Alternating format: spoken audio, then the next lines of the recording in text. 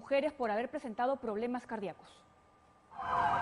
Keiko Fujimori dejó el penal anexo Mujeres de Chorrillos para ser internada en una clínica de Pueblo Libre, luego de sufrir una crisis hipertensiva. Ella viene padeciendo eh, durante estos 17 días digamos, varias sintomatologías. Lamentablemente no ha evolucionado favorablemente, es lo que dice el informe del médico. Por el contrario, se ha ido agravando el tema de su presión arterial y algunos problemas que ha tenido en el pecho que y cefalea que no sabemos todavía cuál, a qué se debe, cuál es la razón de esto.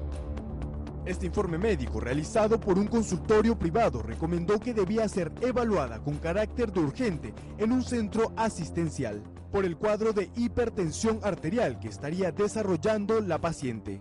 Yo sé que mi esposa está muy fuerte, eh, es una persona muy fuerte y no quería incomodar ninguna nadie con esta noticia, mucho menos nuestras hijas, pero el día de ayer su presión llegó a un punto crítico la noche del sábado, la lideresa de Fuerza Popular fue trasladada en una ambulancia del INPE y bajo medidas de seguridad, lo que generó la molestia de su esposo Mark Vito y algunos congresistas, pues según ellos fue enmarrocada. Evidentemente con las medidas de seguridad que corresponden, pero algunas eh, un tanto excesivas, ¿no? Enmarrocarla eh, creo que ha sido un exceso, sobre todo considerando que si es una persona que tiene un problema médico, eh, me imagino que los doctores podrán afirmar de que no, es las, no son las mejores condiciones como para poder trasladar a, una persona. Lamentamos las situaciones de exceso, justamente de traerla enmarrocada en el estado en que ella se encuentra. Esperamos que esto nos lleve a una reflexión mucho más profunda.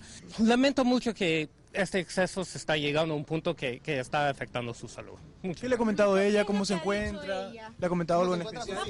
¿Cómo se encuentran las niñas? ¿Va a poder ver a sus hijas? Recién entró, entró las hijas.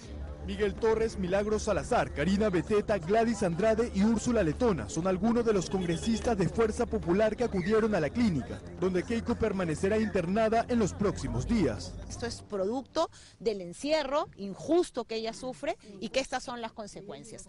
Por otro lado, espero también que el día que el Tribunal Constitucional tome la decisión, lo haga en base al derecho en base a aquellas pruebas que no existen. Todo a menos de 10 días de que el Tribunal Constitucional evalúe el habeas corpus que busca liberar a Keiko Sofía Fujimori, quien es investigada por el presunto delito de lavado de activos.